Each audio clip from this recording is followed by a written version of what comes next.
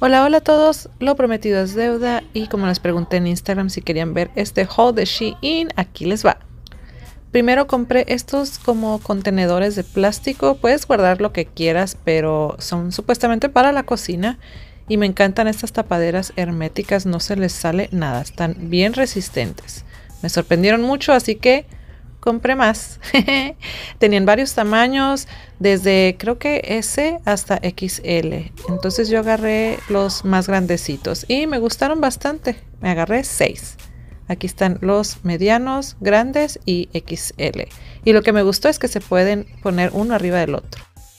También me agarré esta bolsita para viaje, súper práctica porque puedes poner varias cositas. Tiene cuatro bolsitas con zipper y lo más padre es que tienen velcro, las puedes quitar fácilmente. Y ahora viene lo viral. Vi estas por TikTok. En todos lados la verdad están virales estas esponjitas y pues las voy a checar. Vienen 6 en el paquetito. ¿8? 8. También me compré estos tips que son de full cobertura y ya vienen prelimados. Se ven muy bonitos. Me compré también los cuadrados. Venía la cajita quebrada, pero los tips están bien. Y no podía faltar el maquillaje. Me agarré este que es el bronceador. La presentación está bellísima.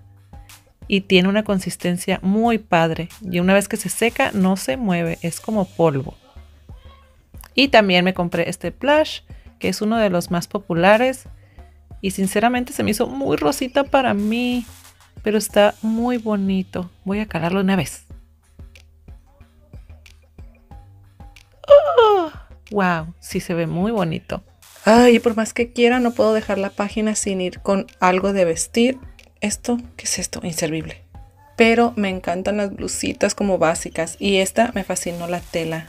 Muy linda. También está súper fresca. Y así se ve puesta. La verdad se me hace muy bonito el color también. El cuello está padre. Me encantó todo. ¿Qué tal a ti? Nos vemos a la próxima.